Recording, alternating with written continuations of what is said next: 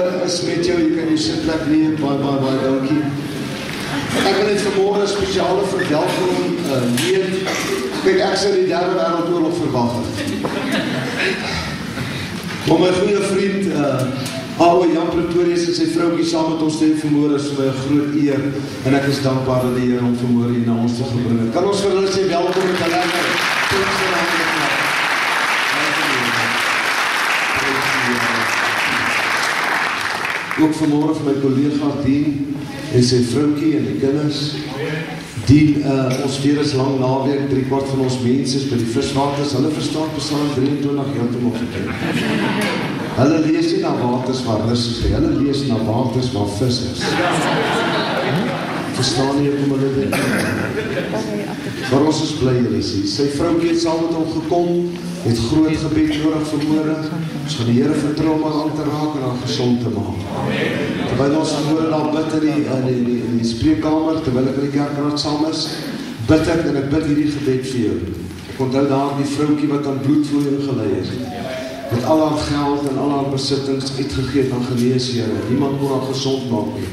En ek dink aan jou, jy het ook alles uitgegee. Jy het man het alles uitgegee om jou gesond te probeer kry. Maar vanmôre is jy. Amen. Ons gaan die Here vertrou. Amen. Ek Jesus jou aanraak. Amen. Ons gaan die Here vertrek. Amen. Prys die Here. Goeiemôre almal.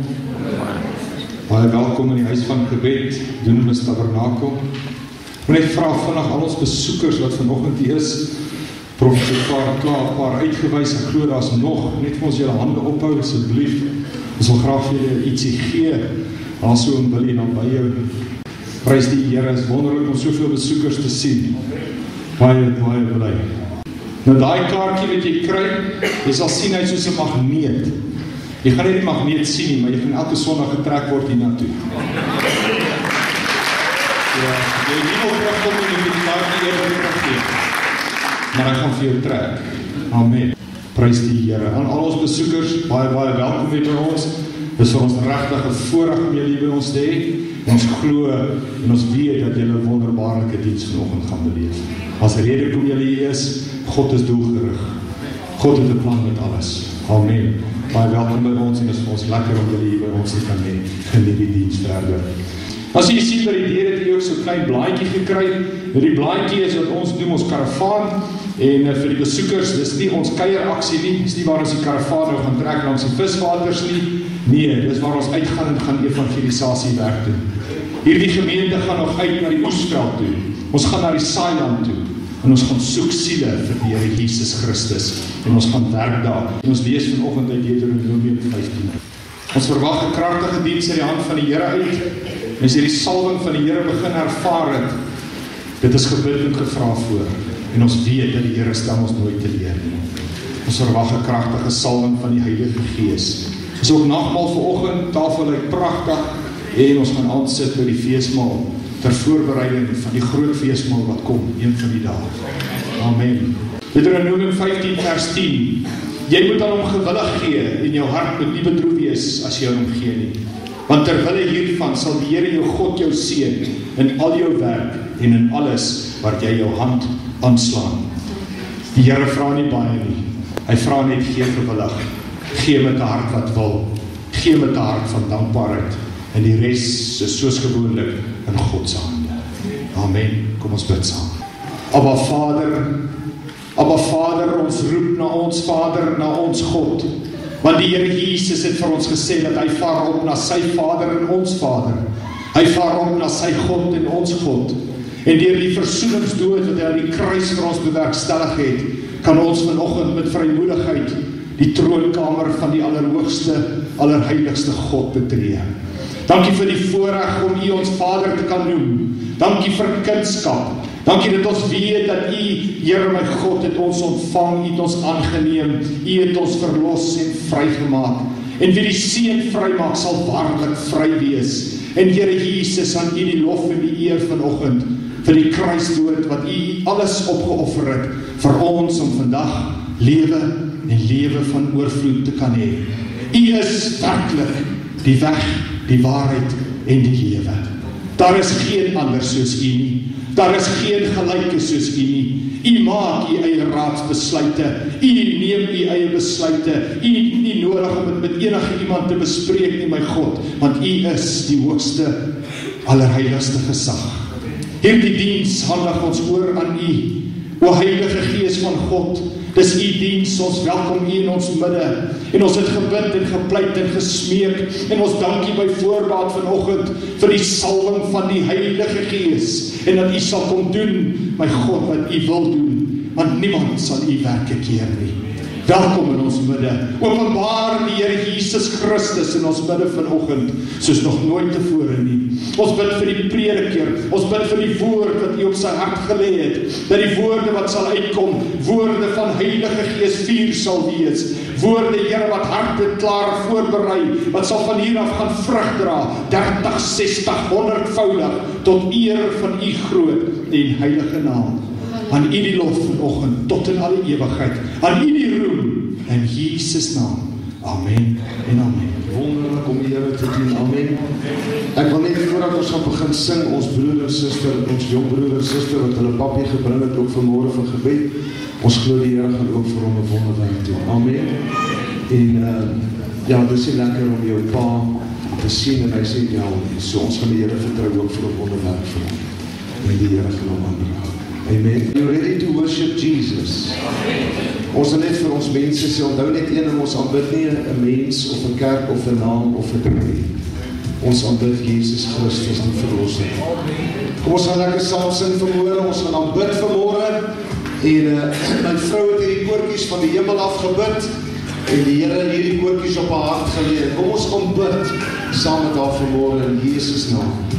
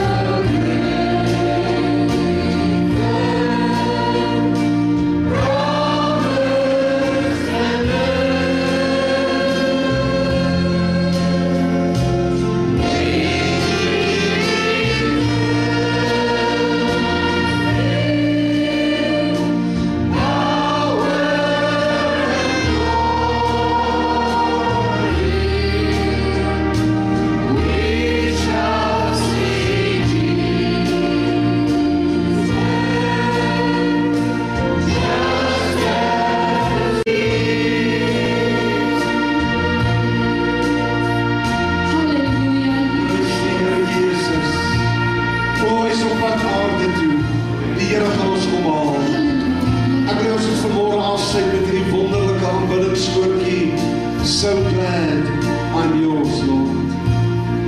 Wie is bly jy behoort aan Jesus. Kom ons sing dit vanmôre uit volle bors. Kom ons sê vir hom dankie vir die bloed. Dankie vir die kruis.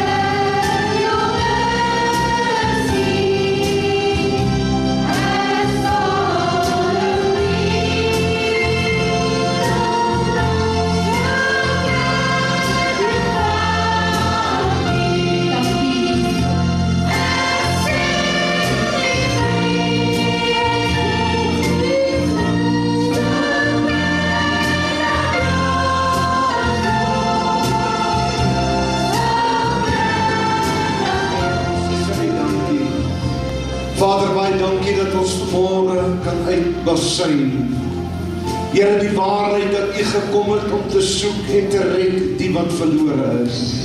Here vanmôre is ons hier met dankbare harte dat U ons gevind het. Here dat U genade nooit opgedroog het vir my nie. Here dankie dat U genade nooit opgehou soek het na elkeen van ons wat hier staan vanmôre. Dankie Here dat U genade vir ons genoeg geword het om by U uit te kom. Here vanmôre is ons dankbaar om in U huis te kan wees. Here want U genade het ons hier na toe gebring. Ek wil bid vanmôre dat God in hierdie plek sy doel met elkeen sal bereik. Ek wil bid dat God met elke hart sal praat. Ek wil bid dat God se gees elke hartsdeur sal oopmaak en binnekyk. Kyk vanmôre Here in elke hart of daar 'n seer is. Daar 'n pyn is. Daar 'n verlange is. Of daar 'n gebondenheid is. En verlos vanmôre in ons midde, Here. Elke man en vrou, seun en dogter. Is ons kinderlike gebed. Ons gebed in die naam van Jesus Christus. Ons Here. Ons is so bly. So bly. Waarom noem julle my in Jesus naam? Ek dank U seun. Amen. Waarom noem julle my goed? My Vader, dis hy wat my gestuur het. Dis hy wat goed is. Tog het my seun in gehoorsaamheid deur gegaan, genees, gesond gemaak en duiwels uitgedryf. Die volmaakte prys het hy betaal aan die kruis. En daardeur het hy julle die reg gegee om my kinders genoem te kan word. Ek sal julle kom haal, my kinders. Julle sal my sien. Julle sal sien wie ek is. Ek is die regverdige regter, die een wat sal kom om te oordeel. En julle sal ek neem my kinders. Hoor vanmôre die woord wat uitgaan. Hoor vanmôre dat julle my eiendom is, dat julle aan my behoort, dat ek julle uitgekies het en dat elkeen van julle sal kom neem, opneem by my en saam met my sal pad. So spreek die Gees van die Here. Amen.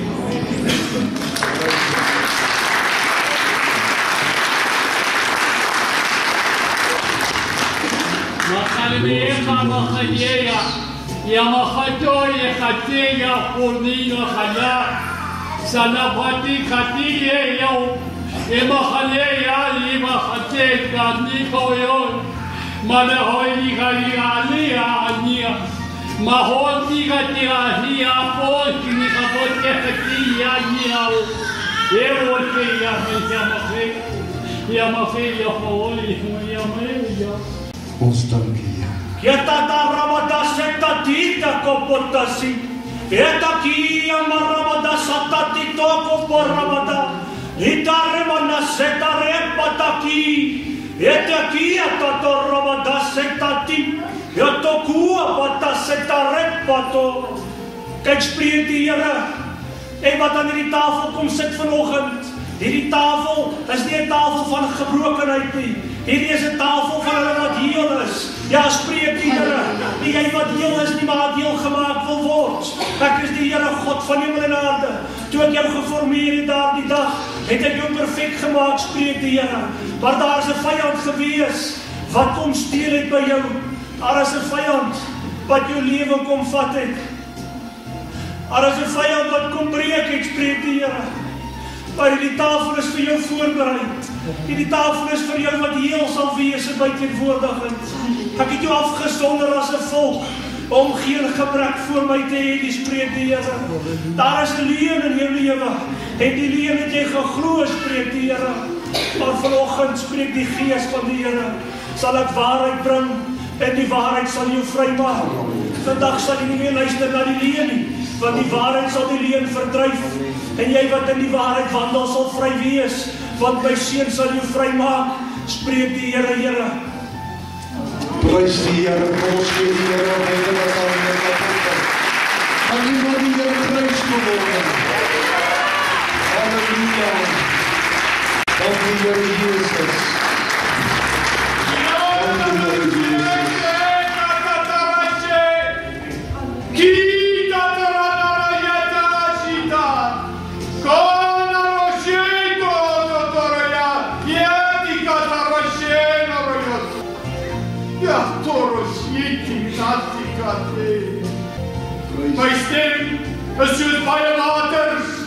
My oë is soos vuur vlamme. 'n Tweesnydende swaard wat uit my mond uitkom. Ek is die weg, die waarheid en die lewe, die Alfa en die Omega. Daar sal baie Christusse kom,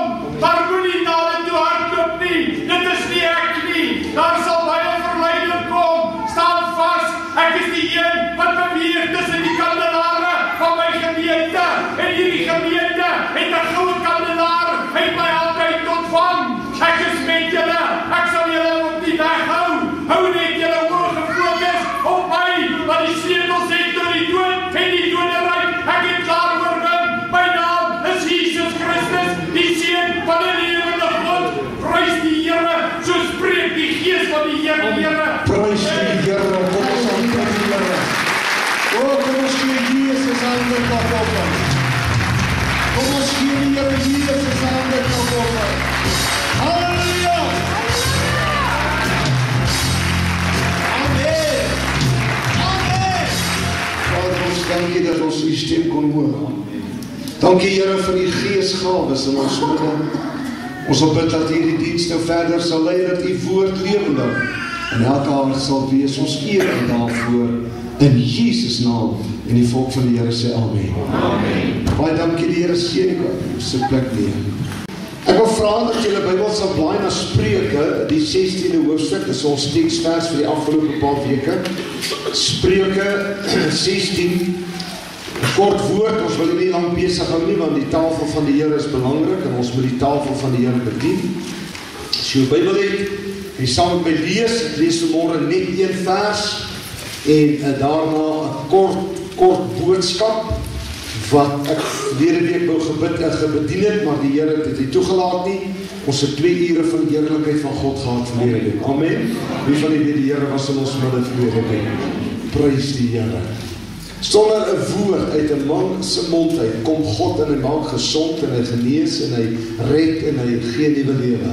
Dis die Here wat ons dien, is dit nie waar nie? Amen. Is dit by Spreuke 16? Ek lees vers 4. Alles het die Here gemaak vir sy doel. Ja, ook die goddelose vir die dag van onheil. Alles het die Here gemaak vir sy doel. Ook die goddelose vir die dag van onheil. Ons het die afgelope tyd geleer en gesien dat ons as kinders van die Here, bloedgewaste volk van God, ons is uitverkies van die grondlegging van hierdie wêreld voor die grondlegging van hierdie wêreld het God gekom en ons uitverkies om vandag deel te wees van 'n ewige ewige koninkryk.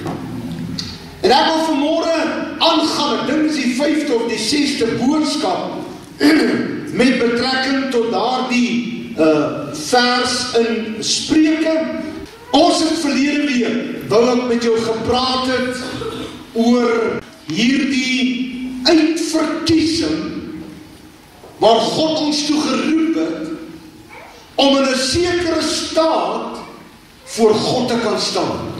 Die Here het vanmôre deur profesie en deur tale en uitleg van tale en die Here vanmôre my boodskap kom bevestig. Want jy sal vanmôre aan hierdie tafel deel hê verlos en vry. Amen. Die Here se woord is altyd die waarheid. Maak nie saak wat 'n mens sê nie. Daarom is ek so dankbaar dat ons die woord van God in hierdie tabernakel het. Ek is so bly dat ons onsself nie onderwerp aan menslike insettinge nie, maar aan God se woord wat ewig die waarheid bly. Ons het ook gesien dat die Here ons uitgesonder het en afgesonder het om heilig en sonder gebrek voor sy aangesig te staan.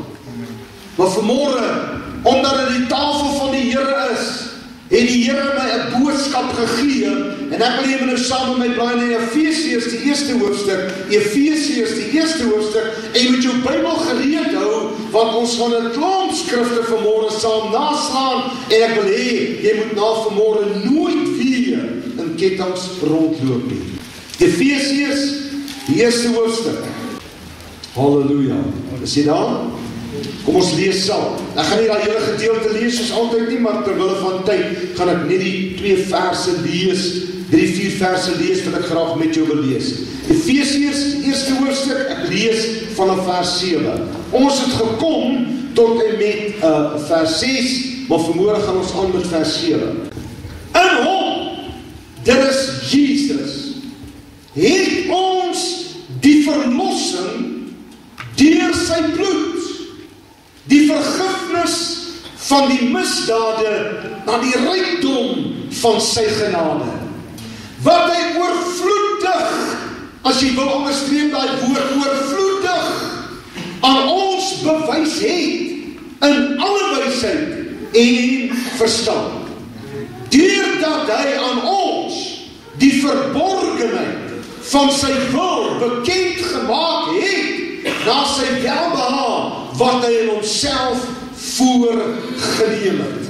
Tot sover die Here seën sy woord aan elke hart. Elke keer as ek daardie woorde van Paulus lees waar hy sê dat ons die verborgenheid van die wil van God ken, dan vra ek my altyd die vraag, hoeveel mense ken waarlik hierdie verborgenheid van God se wil? Maar ek wil jy moet volgende naweek hier wees, want ek gaan daardie verborgenheid van sy wil aan jou bekend maak. As jy dit nie vandag weet nie, gaan jy dit volgende week weet. Maar vanmôre wil ek 'n paar oomblikke stil staan by vers 7. In hom het ons die verlossing. Het ons die verlossing. Ek gaan nie eendag verlos word nie. Ek het vanmôre verlossing. Die Here het my alreeds verlos. Die verlossingswerk van Jesus is voltooi die dag toe hy uit die dood het opstaan. Daardie môre is sy verlossingswerk voltooi. Die Bybel sê toe hy eenmaal ingegaan het in die heiligdom met sy eie bloed, het hy eenmaal 'n ewige verlossing teweeg gebring. Halleluja. Baie mense is nie verlos nie omdat hulle wag om verlos te word.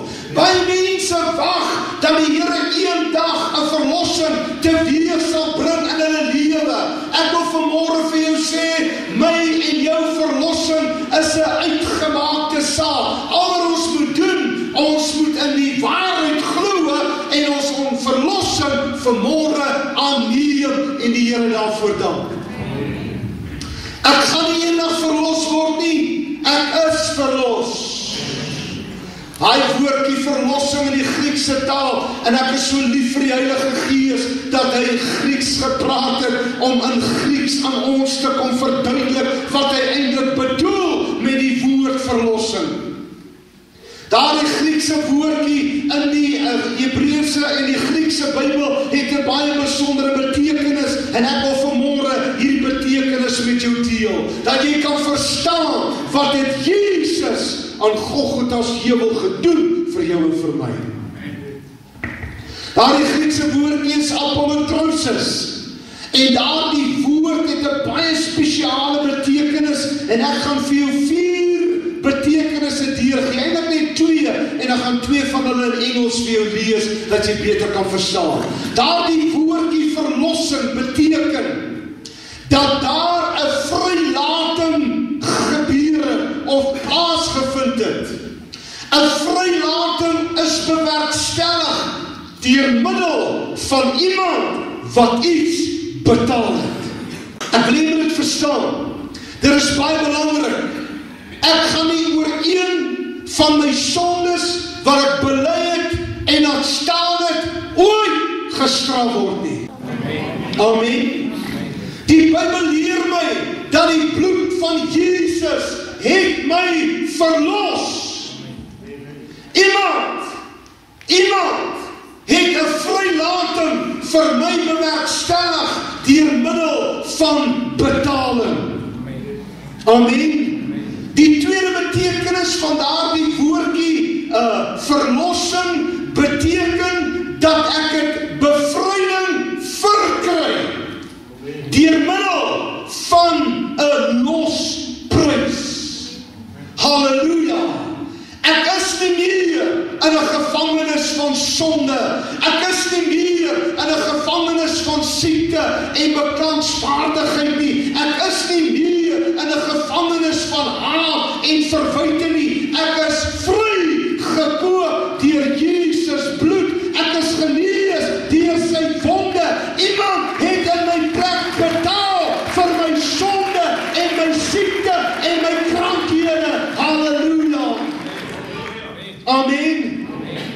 Ook of jy slegs is opgewonde daaroor. Ek is opgewonde daaroor dat iemand my verlos het. Iemand in my plek betaal het. Die Engels is my baie mooi. Die woordjie uh, apollotrosis beteken in die Engelse taal 'n releasing, affected by payment.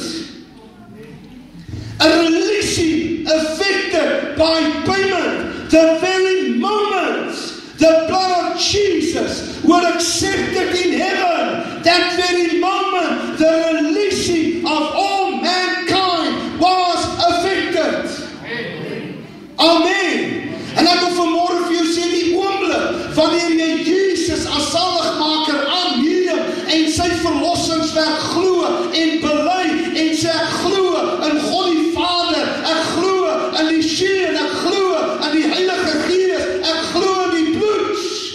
van daardie oomblik af het daar iets gebeur met my en jou.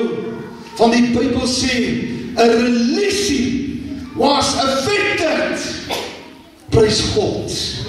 Prys God by payment. En ek wil hê moet vanmôre weet.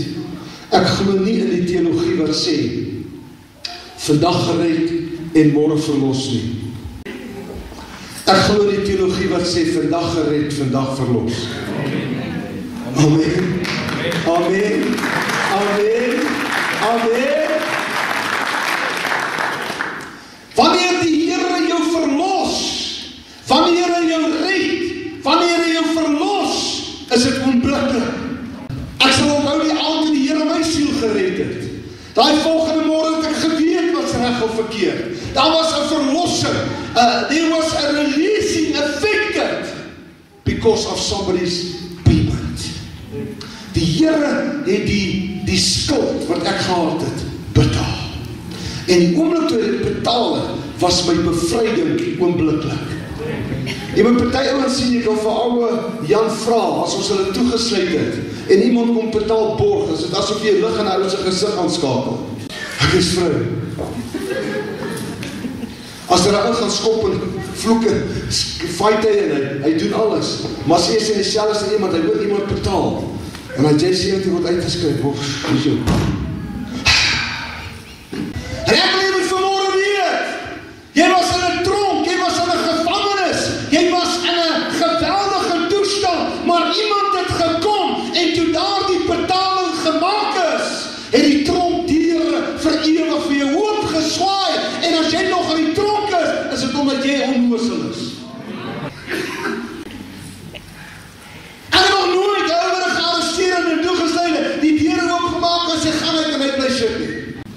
Gaan nou so onnoosel wees om aan die tronk te gaan sit? Ja, I enjoy it, ja, dit is lekker hier so. Ons sê daar oplig en sê halleluja, ek is vry. En ek wil net vanmôre weer mense daar sit vanmôre mense in hierdie diens vanmôre in 'n gevangenis terwyl die deur oop is. God wil hê jy moet vanmôre uitstap. Hy klaar betaal. Jy hoef nie straf te vat nie. Ja, ek weet ons misdade is so kwaai dat ons voel ons moet gestraf word. Maar God gaan jou nie straf nie. Hy het jou vergewe. Die Bybel sê vir my as jy vra kan so toe blaai, jy met my gaan na Jesaja 61 toe. Maar dan moet jy vinnig maak want ek is daar. Dan gaan ek vir jou lees wat die woord van die Here sê, wat het Jesus kom doen op aarde. En ek is so bly om vanmôre vir jou te kan sê dat Jesus Christus en my God is in die in in, in die vrylatingsbesigheid. Amen. Amen. Prys God. Is jy daar? Ek lees. Die bediening van Jesus word uitgeprofeteer. Jy kan dit aan Lukas 4 gaan verder lees vanaf vers 18 en dan vanaf vers 16. Jy dit gaan lees. Die vervulling van hierdie profesie het gebeur toe Jesus op aarde was. Die Bybel sê die gees van die Here Here is op my, omdat die Here my gesalf het om 'n blye boodskap te bring aan die ootmoediges. Hy het my gestuur om te verbind die gebrokenes van hart, om vir die gevangenes 'n vrylating uit te roep. Halleluja! Toe Jesus aan die kruis hang en hy roep, dit is volbring. Toe gaan die trompdeur oop. Amen. En ek wil hê met vanmôre weet jou trompdeure is oop. Jy moet net uitstap vanmôre. Amen. God is in die bevrydingsbediening. God is in die verlossingsbediening. Dis wie God is. Stem jy saam? Ek gaan vir jou vra om jou Bybel vir my te blaai na Psalms toe. Ons gaan 'n paar Psalms saam lees vanmôre en dan so 'n paar ander profetiese skrifte, maar ek wil hê jy moet saam met my blaai want ek wil vanmôre vir jou iets gee om huis toe te vat. Is jy is jy gereed? Ek hê met verlore erns sal jy 'n belofte van jou hart vind om by God te kan staan vandag en sê Here, ek is hier vir bevryding. Ek is hier om uit die tronk uit te stap. Baie mense is bang om uit te stap. Baie mense is bang om word weer gevang. En ek wil hê met vermôre weet jy sal nie weer gevang word nie want daar is bloed in die hemel. Jy moet uitkom vermôre. Hier is 'n paar mense wat in gevangenis sit. God gaan hulle vermôre uitlei. Nie van die weer die Here gaan 'n wonderwerk doen vermôre. Amen. Um, iemand bel my eendag op radio toe ek nog gepreek het daar iemand bel my en sê vir my hy het kanker hy sê vir my weet jy wat ek kan vaar my siekte ek sê hoekom hy sê want ek was ek was 'n sondaar en, en ek glo die Here straf my nou om my weer terug te bring na die Here toe Ek luister ook iets terug sê van vriend.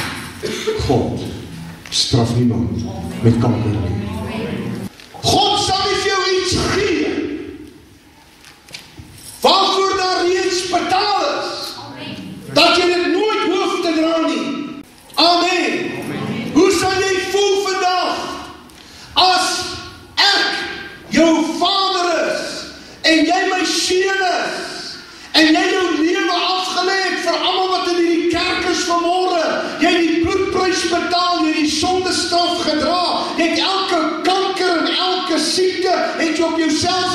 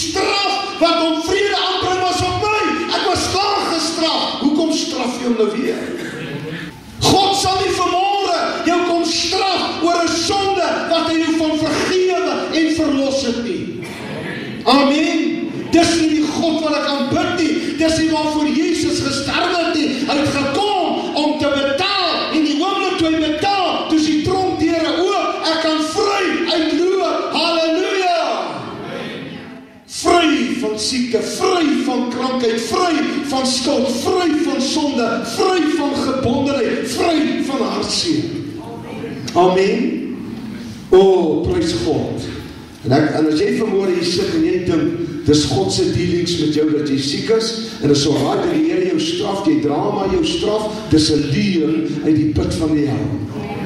Is jy by Psalm 18? Kom ons lees 48 saam. Die God wat my die wraak gee en die volke aan my onderwerp. Wat my siel van my vyande, my wat my red van my vyande. Ja, U verhef my bo my teestanders. U bevry my van die man van geweld. Amen. God is in die bevrydingsbediening. Psalm 31 as jy daar gebed van Dawid. Psalm 31 vers 2. By U o Here skuil ek. Laat my nooit beskaam staan nie. Bevry my deur U geregtigheid. En ek wil vanmôre vir jou sê, we have become the righteousness of God in Christ. Ek is die geregtigheid van God in Christus Jesus. Ek het nie nodig om vanmôre gestraf te word nie. Amen. Dink jy jou kind gaan bly lief wees vir jou so elke dag staan as hy elke dag vra om vergifnis en bly hom slaan na hoor?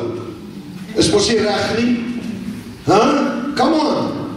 As jy iemand vergewe, hoekom wil jy hom nou nog gaan slaan? Hoekom dink jy God is anderste? God gebruik nie daai taktiek nie. Amen. Ook wens die volk wil dit glo. Psalm 69 is jy daar? So 'n paar verse deurgaan. Ek is amper klaar, byt vas. Vers 18.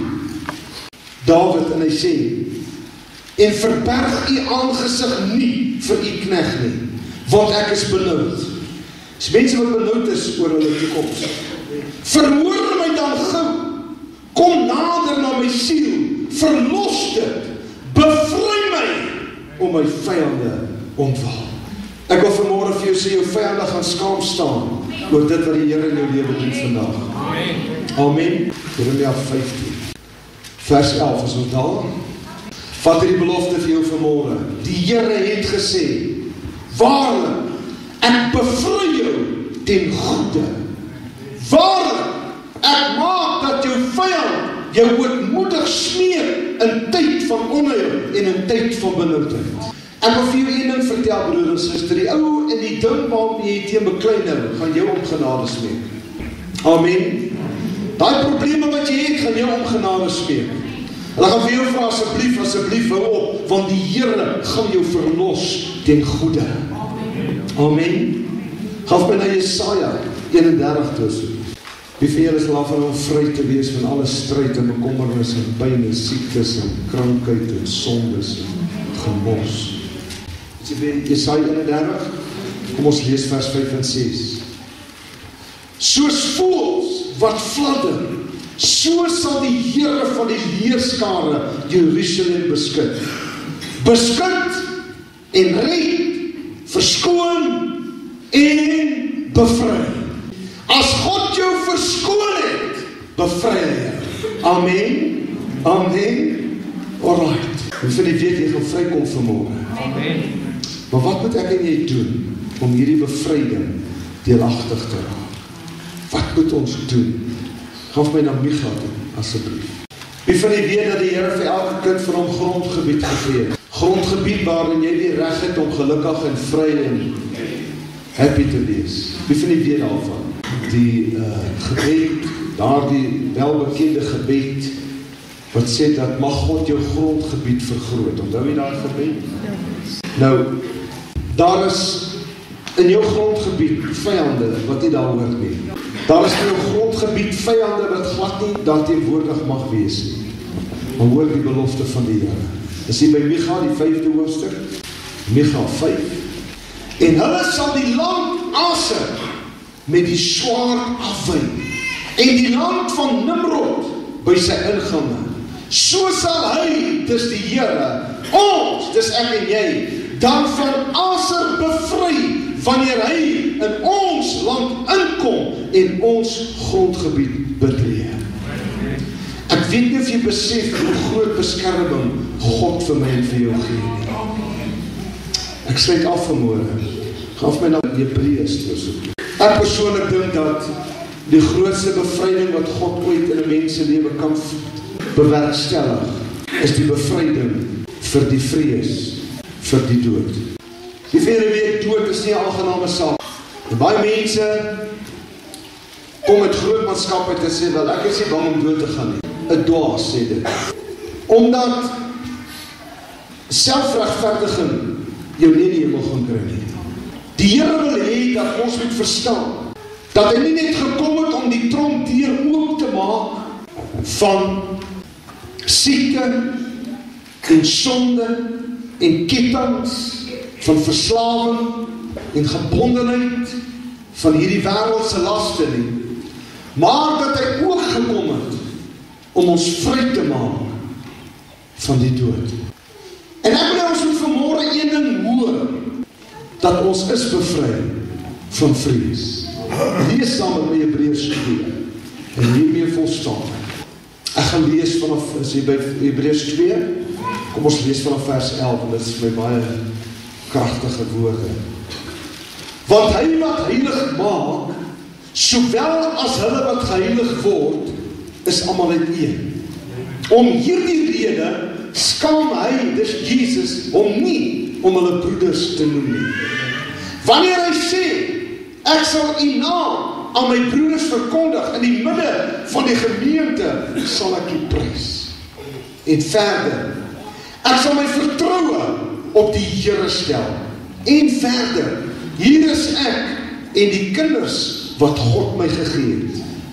Ek is so bly dat ek en jy hoef nooit, nooit die dood alleen tegemoet te gaan nie. Nou vers 14. Aangesien die kinders dan vlees en bloed deelagtig is, het hy dit ook op dieselfde manier deelagtig geword, sodat hy deur die dood hom kon nie tot nie kon maak wat mag het oor die dood dit is die duiwel en almal kon bevry wat hulle hele lewe lank uit vrees vir die dood aan slawerny onderworpe was Jesus Christus het 'n bloedprys betaal om almal van ons wat hier is vanmôre uit die tronke uit te lei en ons te bevry. Sy bloed verlos nog steeds uit Satans mag. Sy bloed maak nog steeds slawe vry. Kom ons bid saam. Vader, baie dankie dat ek nie hoef vanmôre onderworpe te wees aan vrees nie. Baie dankie Here dat ek nie vanmôre nodig het om siek te wees nie glanswaardig te wees, gebind te wees, seer in my binneste te hê nie. Here, wat U het gekom om die tronkdeure oop te swaai. En Here vanmôre is hier mense in hierdie bediening wie se harte stikkend is. Hier is mense vanmôre Here wat loop in vrede in gevangenis. Gevangenis van een of ander ding wat hulle nie wil los nie. Here, ek wil vanmôre spesiaal vir hulle bid. Gevangenisse van kanker, gevangenisse van hartkondisies, gevangenisse van oogkondisies, gevangenis van wat ook al. En U het gesê ons het verlossing deur sy bloed. U het gesê iemand het betaal. Ons kan vry. Ons kan uitloop. Ons kan vanmôre uit hierdie gevangenis uitstap. Die deur is oop. Terwyl ons so sit, ons oë gesluit, niemand kyk rond nie. Is daar vanmôre iemand in hierdie huis wat in die geloof uit die gevangenis wil uitstap? Daar waar jy sit, sit jy in 'n gevangenis. Maar hier voor is 'n deur wat oopgemaak is deur die bloed van Jesus. En jy wil vanmôre opstaan en sê Here, ek stap uit my gevangenis uit want die Bybel sê ek is verlos. En jy wil hê ons moet vir jou bid dat jy totaal en al verlossing moet ontvang. En jy wil hê die Here moet vanmôre iets in jou lewe doen. Gaan ek jou nou 'n geleentheid gee om nou op te staan. As 'n manifestasie. Staan op. Loop uit jou gevangenis uit. Ons staan hier voor. Ons gaan vir jou bid. En ons gaan die Here vra om die kettinge van jou arms en bene af te verwyder. Want jy is verlos deur die bloed van Jesus. Elke man en vrou wat vanmôre gevangenes is van vrees, gevangenes is van siekte, gevangenes is van krankheid, gevangenes is van bekommernis, gevangenes is van wat ook al. Jesus is sy naam. Jesus is sy naam. Gevangenis, God het jou vrygemaak en hom het jy die verlossing wens. Waarom skop jy teen die prikkels van die Heilige Gees? Kom, wil jou nuwe lewe gee. God wil jou 'n nuwe begin gee. Ek gaan vra dat die pastore en die ouderlinge kring half maak om agter die dimensies te maak. Ons sal gou vir hulle bid. Ek staan verlede week by die by die dokter en wat my gesê het bloed trek en gaan trek bloed in. Terwyl daar staan lees ek 'n bordjie. En dit het my getref. En die bordjie sê be patient and wait for your time patiently. You will also receive the same complete and professional treatment as the one you are waiting for. Dit het my tot rustig gebring. Sê nou verstaan ek hoekom ek so lank moet wag. Want elkeen het die reg op wonderlike bediening. En daarom wil ek vir ons gemeente vra om nie haastig te wees vanmôre. Die son sak eers laat vanmiddag. Hierdie mense het gekom vanmôre met 'n sekere rede met 'n doel. Dis hoekom hulle hier voorkom staan. Erns in hulle lewe is daar 'n gevangenskap. Hulle lê nagte wakker. Hulle sluit hulle deure want hulle vrees. Hulle wag vir die dood om te kom. Hulle sukkel om te lewe. En God het ons vrygemaak sodat ons kan lewe. Nie een traan wat jy stop, het God beplan in jou lewe. Nie een hartseer oomblik in jou lewe het God vir jou beplan nie. Nie een sieklike oomblik in jou lewe het God vir jou beplan nie. Nie een ongelukkigheid, 'n minuut sekonde in jou lewe het God ooit beplan nie. God het beplan dat jy 'n vleis sal wees. God het beplan dat jy gelukkig sal wees. En daarom het Jesus gekom. En hy het gesê, Vader, ek sal in hulle plek sterwe. Ek sal in hulle plek die straf, die vloek, die krankhede op my neem. Verbrysel my liggaam sodat hierdie mense vandag deur 'n tabernakel heel kan wees. Ek gaan 'n massa gebed doen. En daarna gaan ons pastoor en ons ouderlinge hulle hande op jou kom lê. En die Here gaan jou aanraak vir nou. Wie van die weet God gaan 'n wonderwerk doen? Julle wat in die bank is, ek wil vra dat julle saam met my sal bid. Jou gebed is net so belangrik soos myne. En die Bybel sê as twee van ons saamstem op enige saak, dat die Vader 'n byval sal hê. En ek wil jy wat in die bank sit, wat vanmôre niks van God nodig het, het alles wat jy wil hê. Steek jy jou hand uit na vore toe, bid saam met my, terwyl ons vir hierdie mense gaan intree, by die Almachtige. Kom ons bid saam. Vader, U is my God. U is ons God. U het gesê, waar twee of drie in my naam vergader, daar is ek in hulle midde. U het gesê, alles wat ons in U naam vra, sal U vir ons gee. En Here, ek kom vanmôre na U toe saam met hierdie gemeente.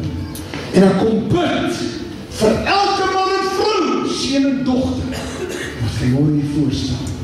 Here, die tronkdeur is oop.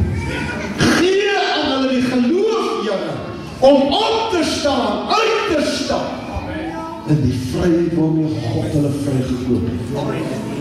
Because somebody paid the debt. Somebody paid the ransom. Somebody affected my release from prison due to the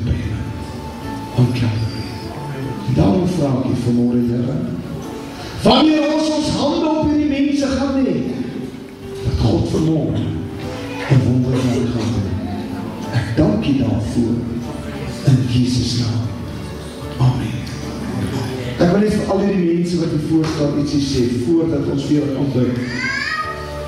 Baie mense dink as die krag van die Here hulle nie omslaan nie, God het nie vir hulle iets gedoen nie. Dis alleen. Die Here werk met elke mens op 'n unieke manier. Die krag van die Here kan jou vanmôre laat dans. Die krag van God kan jou bo van jou voete af laat val. Dit is Bybels. Maar moenie dink as ons vir jou bid en fisies gebeur dan niks. God het nie vir jou iets gedoen. Ek weet elke gebed wat ek bid, antwoord die Here. Ek het klaar vir jou gebid. Die tronkdeur is oop. Al wat ons as pastore nou gaan kom doen, ons gaan net ons hande op jou lê en die oomblik as ons ons hande op jou lê, weet jy jy moet sien hoe jou tronkdeur oop swaai, jou krankheid verdwyn, jou gebondenheid verdwyn en hoe die Here jou vanmôre gesond maak. Amen. Terwyl ons 'n wonderlike liedjie gaan saam sing, wat ek wil sing. Skuil net by U. Skuil net by U. Terwyl ons hierdie koortjie gaan saam sing, skuil net by U, my Heiland. Wil ek julle wat hier voor staan, julle moet by die Here kom skuil vanmôre. Pieter van Ryk kan vir jou niks doen nie. Al wat ek kan doen is saam met jou bid en die Here gaan vir jou 'n wonderwerk gee. Kom ons sing saam. Skuil net by U. Terwyl ons vanmôre vir hulle wat hier voor is kom bid in Jesus naam. Vader, die pastoor sal ons bid vir ons mense dat die Here wonderwerk sal doen. Die die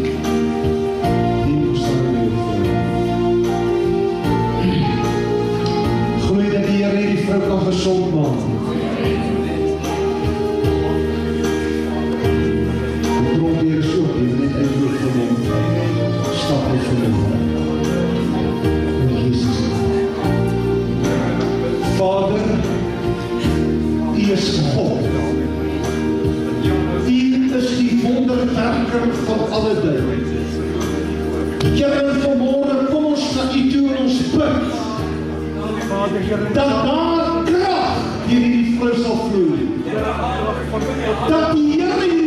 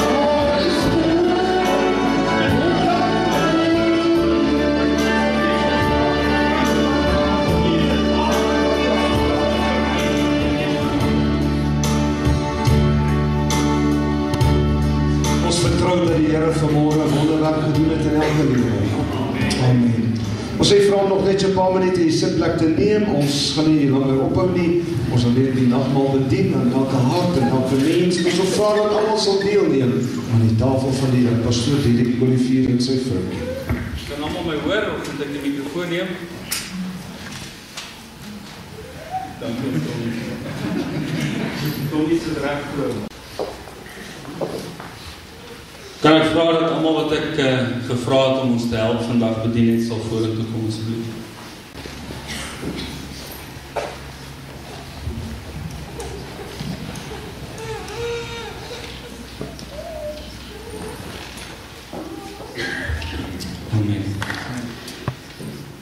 Ek het 'n paar gedagtes gehad soos ek maar hierdie week gedink het oor dinge.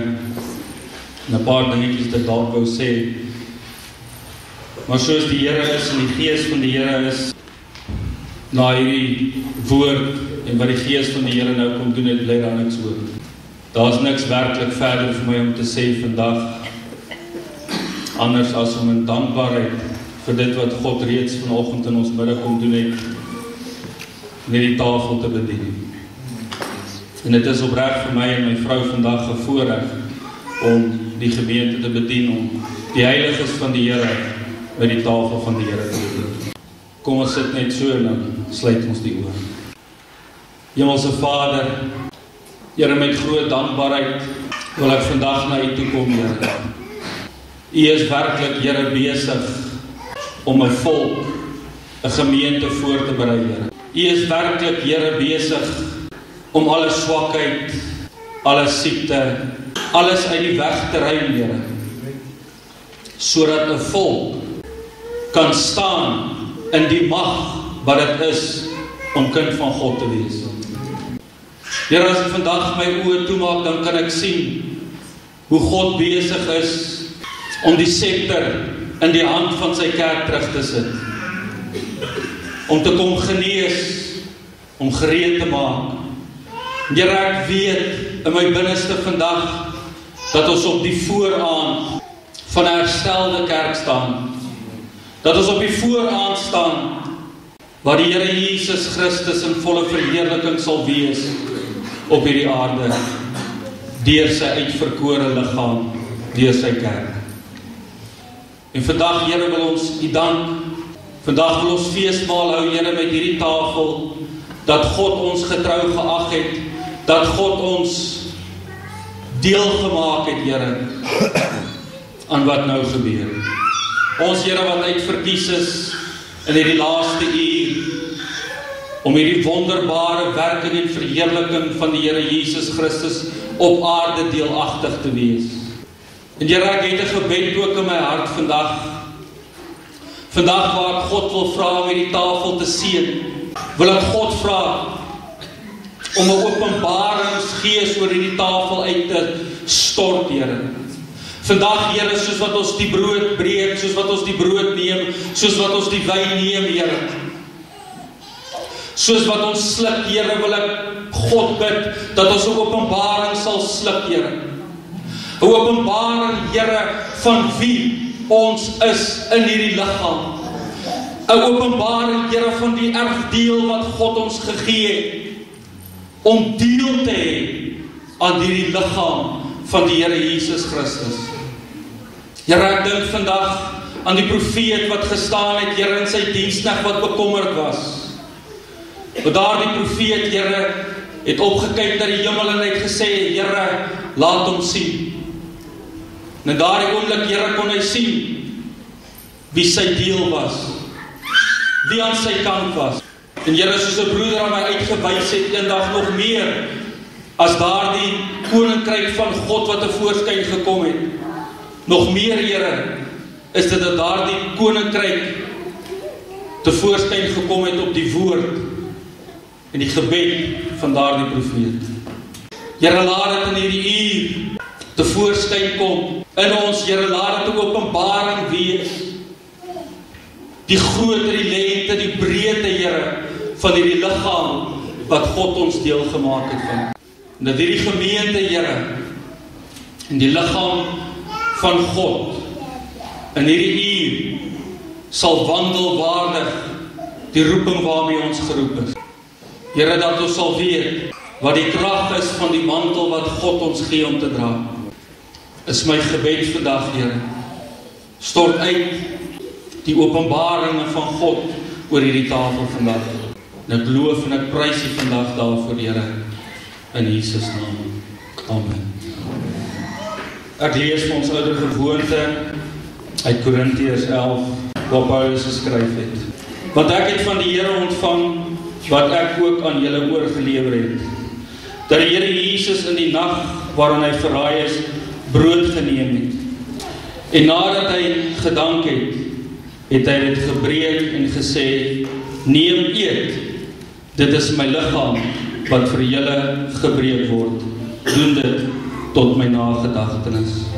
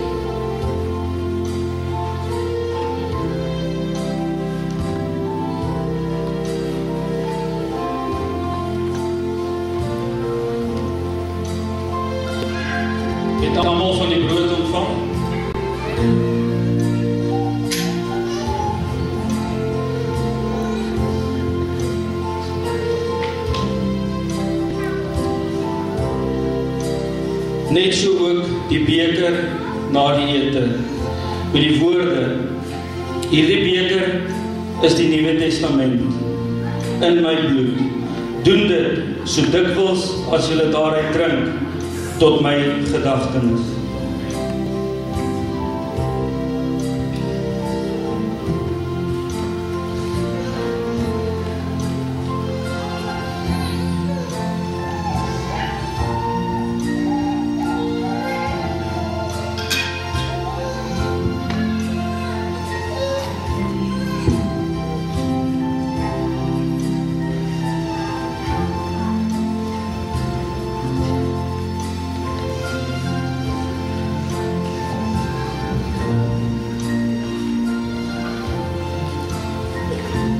Die wat die beker wil hê kan asseblief net julle hande opsteek.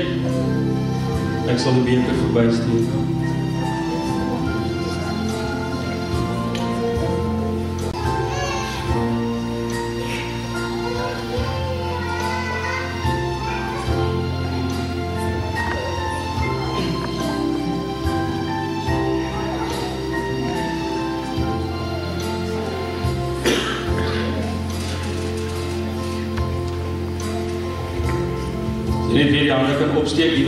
Die wat graag